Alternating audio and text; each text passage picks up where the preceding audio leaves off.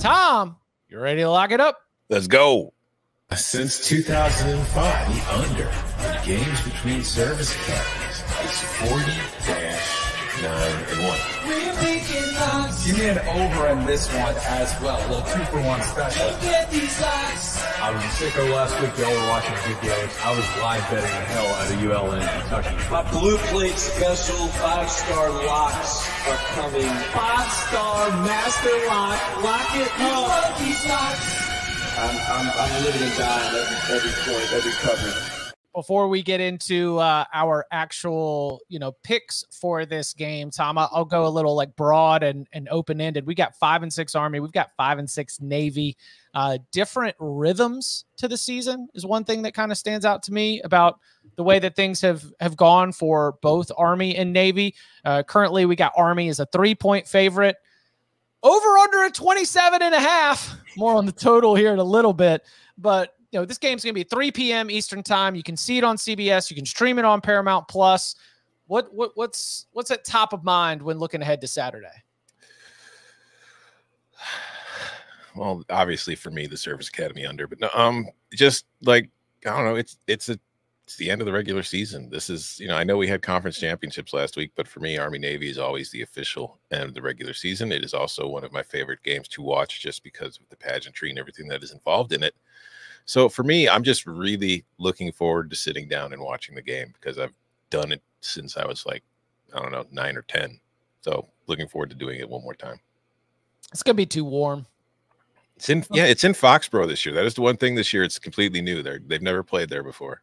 Yeah, it's going to be in uh, Foxborough, Massachusetts, home of the New England Patriots. And uh, I'm, I'm I'm really just devastated because right now in Foxborough it's like 22 degrees, Army Navy weather. Saturday around kickoff, 52. Yeah, That's disappointing. Come on, weather. I want uh, this. I like the snow games for Army Navy because snow games for Army Navy really is like my memories of backyard football in the snow, where we're just like going out there running, tackling, and blocking, and that's the only thing that's happening. I understand that, but I on Friday I will be able to golf one more time. So I'm all for these 50 degree temperatures over the next couple of days, just personally. Um, I mentioned the the rhythms to the season because when Army got out the gate, it was uh it was a little bit tough. You know, they they come out and they lose to ULM. They get an incredible win against UTSA, but then lose to Syracuse, lose to Boston College, lose to Syracuse uh, lose to Boston College by three, get shut out by Troy, get blasted by LSU 62 nothing, lose to UMass, which like mm-hmm. at that point in the season, you're just like, oh no, Army, like if we lost the plot, you know, what's what's happening here?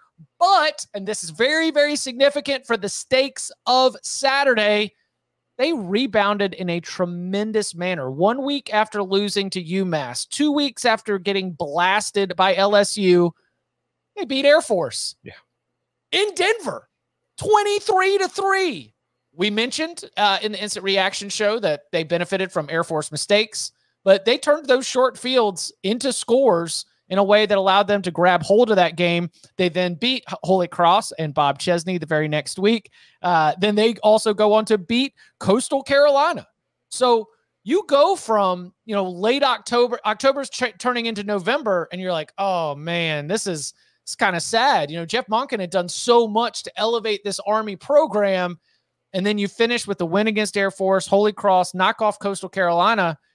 And if Army wins on Saturday against Navy, they get the outright commander in chief's trophy. Mm-hmm. So I'm I'm very that's that's probably one of the things at least on the army side where I'm like, okay, it, I was really worried earlier in the year, but you have a chance to finish with the trophy and finish on a winning streak. So something that uh, is is definitely at top of mind for the Black Knights. Yeah, and this is like you went over the schedule. The results clearly dictated. Like this is not as good of an army team as we have seen in recent years, but for them to finish strong and get this win and still get the commander in chief trophy. Because, like you were saying, like earlier this year, I, I thought it was pretty obvious Air Force was going to end up winning the commander in chief trophy. They beat Navy, and I figured they were going to absolutely steamroll Army based on what I had seen from them earlier in the year.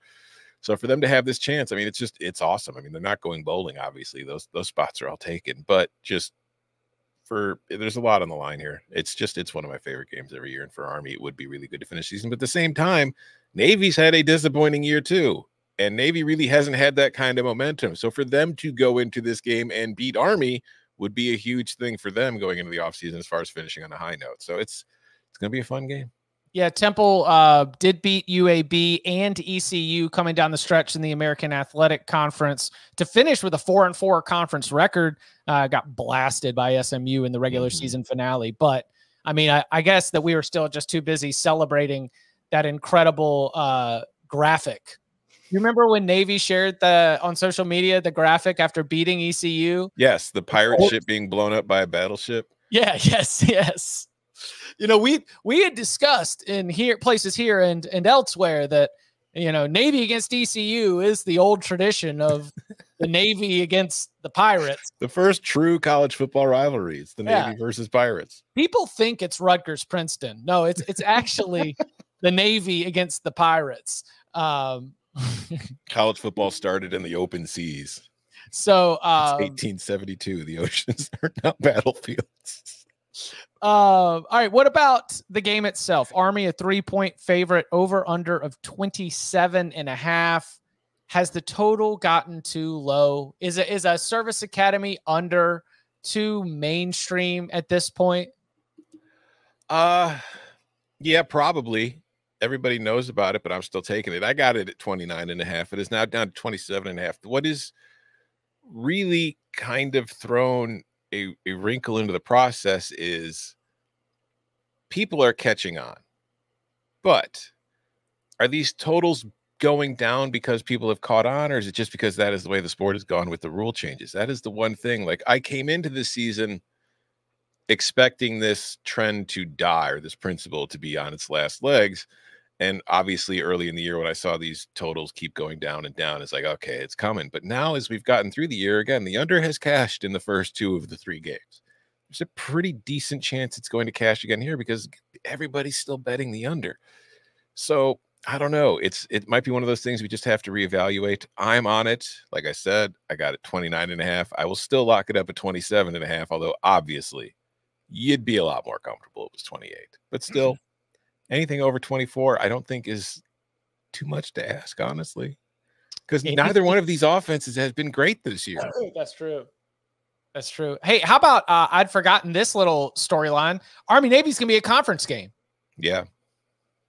With uh with SMU leaving uh, the American Athletic Conference, the American Athletic Conference will be replacing them in football at least with uh with the Army. So this will, I hear that's why Mike Aresco retired. He just he doesn't want to. He, he hates the truth. No, Shout out to Mike Aresco, big yep. fan of the podcast. You have filled our email inboxes with angry statements for years. May you enjoy every bit of your retirement.